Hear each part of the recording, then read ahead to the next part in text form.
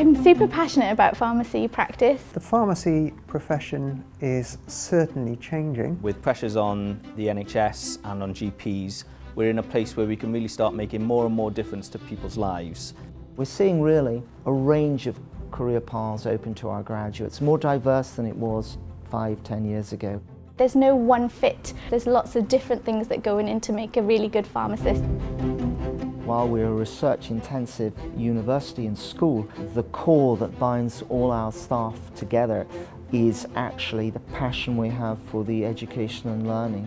I love working with students. It's just always so exciting to be around someone who's at the start of their career and getting so much from it. I do like seeing the, the moments that the, the penny drops and the students really get something that you're, you're trying to teach them.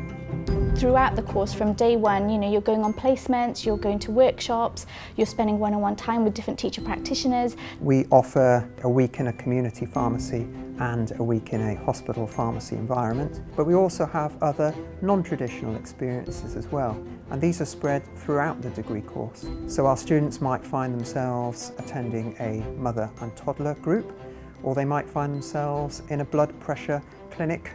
It really helps our students practice other skills such as communication with, with different types of patients that they might not normally expect to meet. We have really excellent facilities within the school. These might be large uh, teaching laboratories where we can conduct scientific experiments. They've got amazing consultation rooms downstairs, really lovely rooms set up exactly as in practice.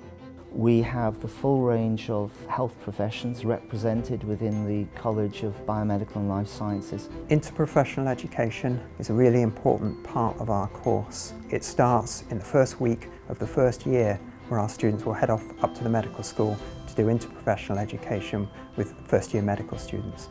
What's really important uh, going forward is to ensure that the professional stakeholders have a voice in the development of the strategy for the learning and teaching of our undergraduates. Cardiff University graduates generally are always of a very high standard.